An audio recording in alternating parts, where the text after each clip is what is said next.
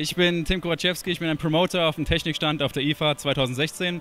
Technics gibt es seit drei Jahren wieder, seit zwei Jahren wieder im Verkauf, ist gelauncht worden, hat, war zehn Jahre lang nicht da.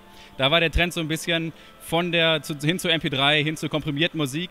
Jetzt ist Technics wieder da, wieder mit voller, mit analogen Original-Audio-Signal. Also am besten über CDs spielen oder mit FLAC-Dateien, 24-Bit.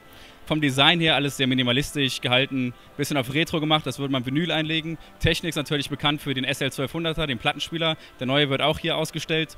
Ähm, dieses Gerät hier ist, es gibt drei Preisklassen. Das hier ist die erste Preisklasse von der Oberklasse. Es hat Wi-Fi, Spotify vorinstalliert, Airplay, Bluetooth, das volle Programm. Also das ist eine All-in-One-Solution äh, Gibt es mit zwei verschiedenen Speakern, mit besonderen Speakern, die in drei Richtungen den Sound projizieren, sodass man überall im Raum stehen kann und den Sweet Spot hat. Oder mit dem klassischen Technik-Speakern, mit dem Koaxialsystem und dem Face Precision Drive.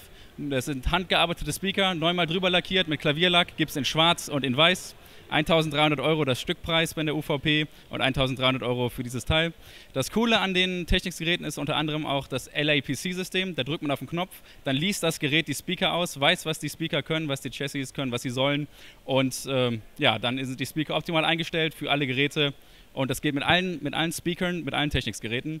Ja, Dankeschön.